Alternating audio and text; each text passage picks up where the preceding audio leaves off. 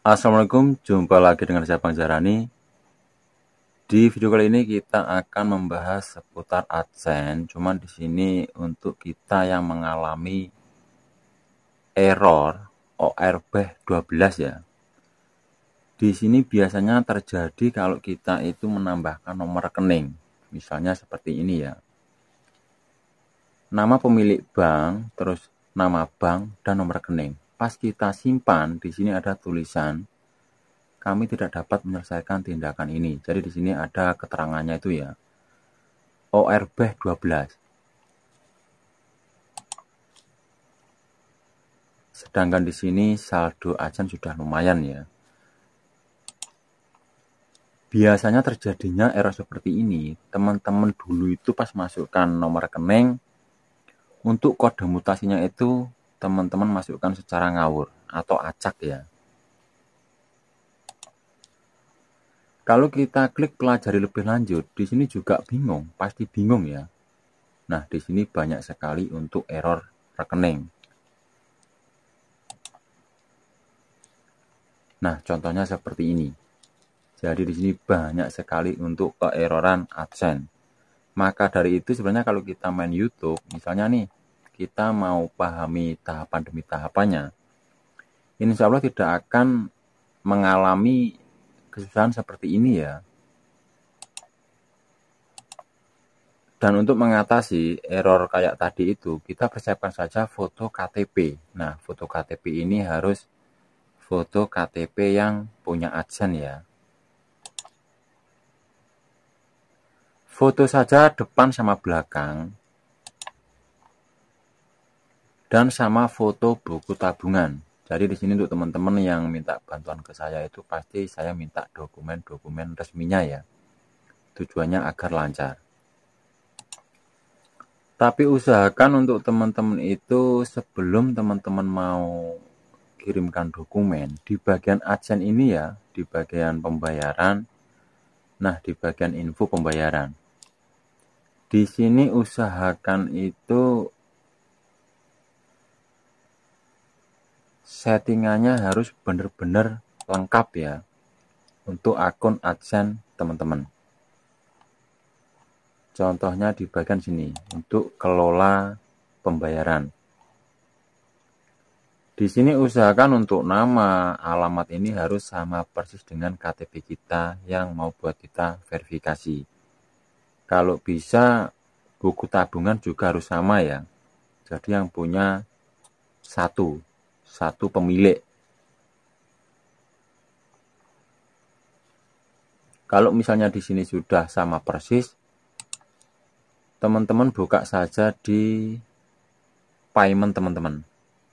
Nah, jadi ntar kalau di payment itu teman-teman klik saja notifikasi ya. Ntar di sini kalau ada merah, di sini kita ikuti saja. Nah, contohnya kayak video yang kemarin ya, kita hanya mengisi kolom-kolom di sini. Untuk link pusat bantuan ini dia letaknya itu ada di payment. Payment akun kita. Sudah saya bahas di video yang kemarin ya. Pokoknya caranya untuk kita mengirimkan dokumen itu videonya ada di video yang kemarin. Jadi di situ untuk kita mengisikan dokumen kita resminya caranya ada di video yang kemarin. Sama ya, pembatasan negara sama rekening itu sama. Dan ntar kalau di email sudah ada pemberitahuan kayak yang di video yang kemarin, itu teman-teman tinggal masukkan saja nomor rekening teman-teman ditambahkan metode pembayaran. Ini di akun ajan ya. Contohnya seperti ini untuk nama, nama bank, sama nomor rekening. Lalu kita klik saja simpan. Nah, di sini kalau kita sudah menyimpan nomor rekening, di sini kan ada tulisan seperti ini ya. Bahwa Google itu mengirimkan nominal angka di bawah seribu rupiah. Jadi di sini ini, ntar kita cek kode mutasi. Dan kalau kita cek di Ajan kan masih seperti ini. Dan untuk nomor rekeningnya masih verifikasi tertunda. Cuma di sini kebanyakan teman-teman itu gara-gara ngacak ya, maksudnya masukkan kode mutasinya itu dia ngacak akhirnya lah kena error gitu loh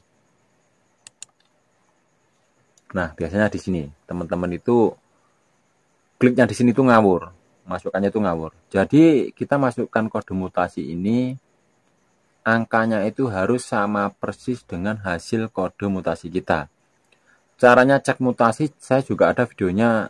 Ntar teman-teman juga bisa lihat kalau kita mau cek mutasi lewat ATM atau teman-teman kalau misalnya mempunyai banking itu lebih gampang ya. Jadi di sini kita nggak boleh asal untuk memasukkan kode mutasi ini. Setelah kita verifikasi rekening, kode mutasi ini yang menentukan itu Google, bukan kita.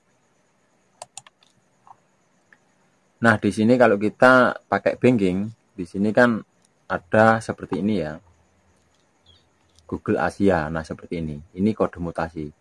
Kode mutasi ini kita masukkan di agen. Kita nggak usah ngetik. Kita tinggal mencocokkan. Nah, seperti ini kirimannya itu dari Google Airline. Nah, seperti ini ya.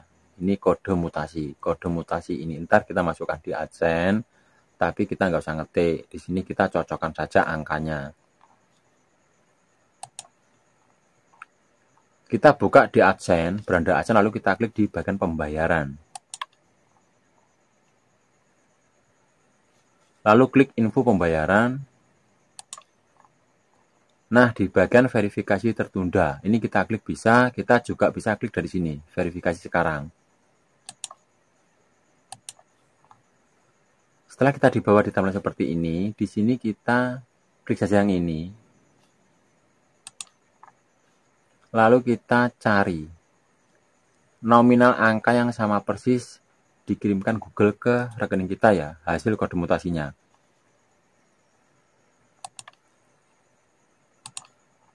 Kalau sudah ketemu kita klik, ntar secara otomatis kan sudah nempel di sini, lalu kita klik verifikasi. Klik OK. Nah, secara otomatis yang tadinya itu merah di sini sudah hijau ya. Jadi intinya untuk teman-teman yang mengalami error rekening itu jangan keburu-buru. Jadi kita mainnya pelan. Karena acan ini kalau kita sudah kena Misalnya nih, salah dari tahapan awal, itu akan ribet, apalagi double adsense. Karena banyak sekali teman-teman yang dibawa ke sini itu di awalnya mudah, saya kasih tahu malah ngeyel ya. Akhirnya dihapus sana sini malah lebih susah. Ya semoga di cara sederhana ini bisa membantu untuk teman-teman semuanya yang mengalami error seperti ini ya. Intinya untuk teman-teman tetap semangat jangan tumbang. Wassalamualaikum warahmatullahi wabarakatuh.